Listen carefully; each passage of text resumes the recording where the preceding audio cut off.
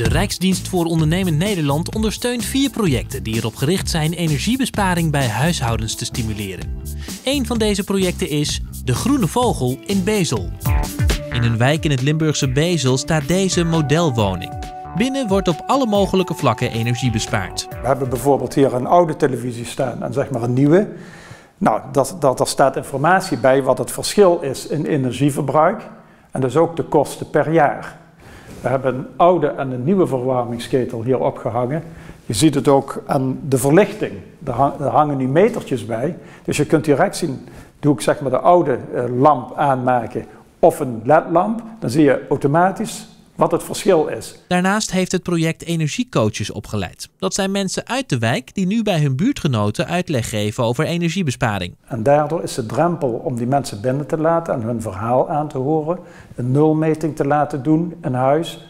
Ja, is, die drempel die is heel laag en we zien gewoon dat dat effect heeft. In de wijk staan 200 koop- en 200 huurwoningen. Een kwart van deze bewoners heeft vooraf al aangegeven mee te willen doen. We weten dus welke mensen dat interesse hebben om, om mee te werken aan dit project. Daar wordt contact mee gelegd door die energiecoaches. Die gaan daar in huis. En die geven zeg maar een gratis advies op welke manier dat ze eenvoudige maatregelen kunnen nemen. Maar als mensen zeggen, nou we willen ook graag bijvoorbeeld zonnecollectoren op het dak hebben. Dat hele traject, dat gaan zij begeleiden. De volgende stap in het project is de aanleg van slimme meters door de netbeheerder. De data wordt, als men daarmee akkoord gaat, gepubliceerd op de website. Zo kan iedereen referentiewoningen bekijken. Stel dat er een gezin woont van, van uh, ja, uh, ouders met twee kinderen. En iemand heeft ook eenzelfde samenstelling, dan, dan, dan kunnen ze het vergelijk zien.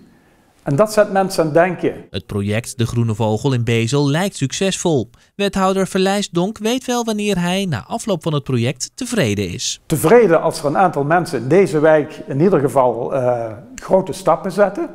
En heel tevreden ben ik, ja, de volgende slag die we gaan maken, dat zeg maar, het project De Groene Vogel uh, ja, voor heel de gemeente gaat gelden. Maar nu, nu zijn ook al initiatieven in Noord-Limburg bezig bij de zeven andere Noord-Limburgse gemeenten die zeg maar op eenzelfde manier die bewustwording en gedragsverandering uh, op gang proberen te brengen. Dat is natuurlijk heel leuk.